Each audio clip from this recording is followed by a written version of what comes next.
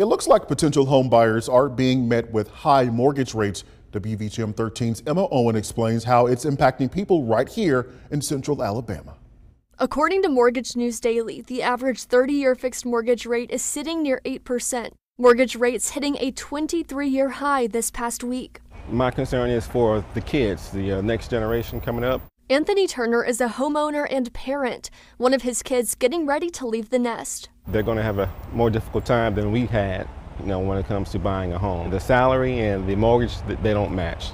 So something's going to have to give. If you're concerned about buying a home in this market, Dr. Joshua Robinson, Associate Professor of Economics at UAB, recommends two things. The first, maybe check your expectations a little bit and, and look for a, a less expensive home. Um, you know, which is eh, not anything anybody wants to hear, but you know, it might just be that the house that you want to buy is out of the range of affordability for you now with these higher rates. The other, use this time to save money, which is exactly what aspiring homeowner Joseph Keiko says he's doing. It doesn't faze me. I'm just taking time, building my credit, saving more money, and when the time comes, I'm hoping I'm, I'm gonna hopefully buy it at a, at a perfect time. As homebuyers navigate these mortgage rates, Dr. Robinson says they appear to be stalling the real estate market. Since January, he says the number of homes for sale but not sold has increased by about 15%. Some future homeowners possibly holding off before purchasing. The best scenario for a kid, I think, coming up is, you know,